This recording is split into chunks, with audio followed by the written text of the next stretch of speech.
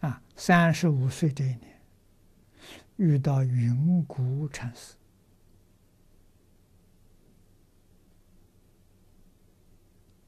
跟云谷禅师在禅堂里头坐禅三天三夜，没有一个妄念，不容易啊！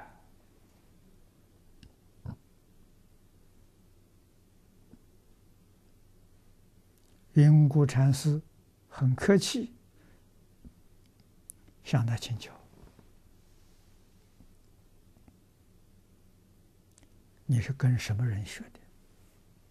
功夫不错。一个凡人三天三夜不起个妄念，很少见。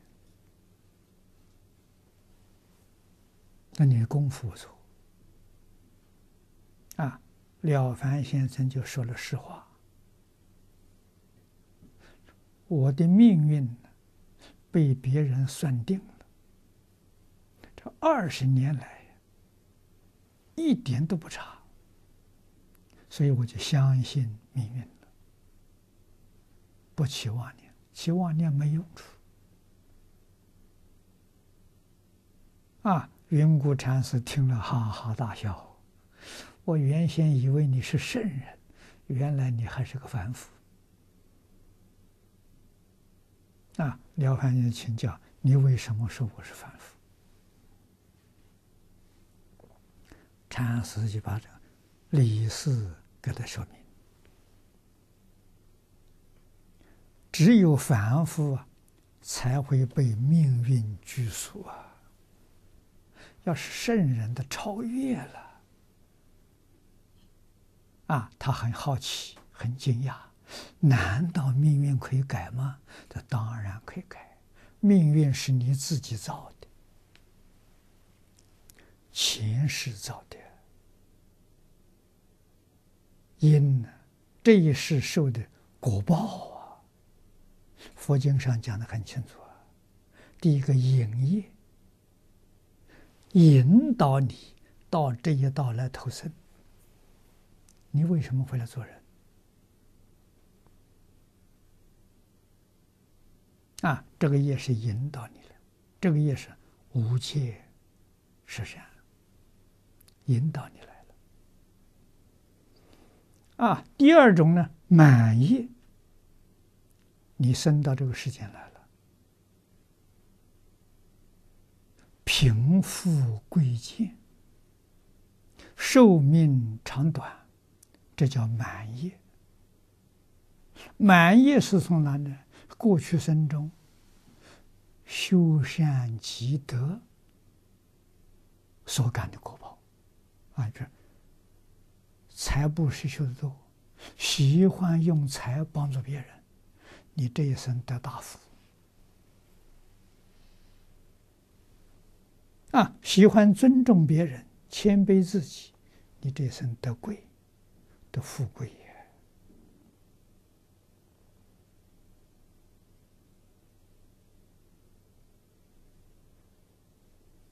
啊，喜欢修无为布施啊，帮助老年人，帮助苦难人，帮助有病的人得健康长寿啊，这叫满意。虽然到人间来是都是得人生。贫富贵贱不一样啊，满业不相同啊。了凡先生明白事实真相之后，啊，请求云谷禅师教给他改造命运的方法。禅师教他用《功过格》做标准，《功过格》内容是什么呢？就是《太上感应篇》。这个里面一共说善因善果、恶因恶报，总共说了一百九十多条。告诉他，你就依这个去做，恶要断，善要修。他回去就真干，发了大心，啊，断恶修善，积功累德，啊，大心一发，就开始做。第二年去考试，果然不一样了。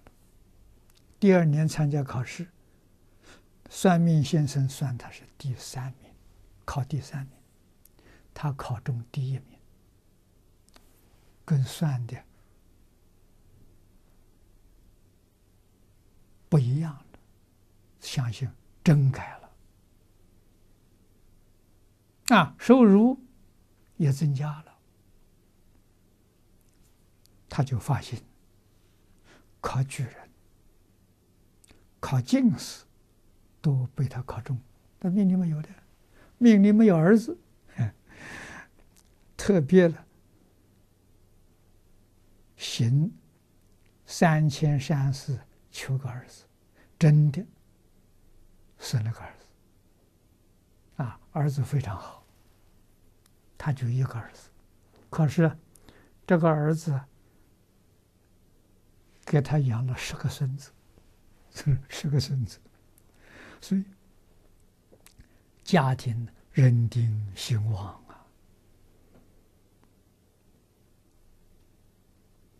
啊，一直到现在，了盘先生的后代现在过得还是很好，祖宗有德嘛。啊，那么这个四篇文章，训子的四篇文章，流传在世间，得利益的人不知道有多少。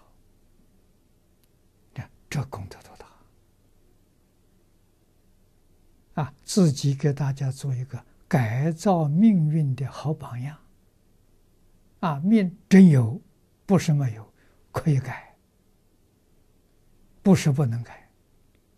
啊，行善积德，就往好的这方面改；如果作恶多端，那就向坏的那边去流了。